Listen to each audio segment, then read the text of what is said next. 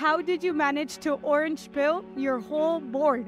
Well, first, I did a lot of study on my own, and then I picked out the three most compelling videos on Bitcoin. And then I created a text message and I sent it to each board member and I said, I want you to look at all these things. This is your homework. And then I want a meeting with you. And then after that, after I'd met with all of them individually, I said, now we're calling a board meeting and we're going to discuss it. And over time, we all did the work.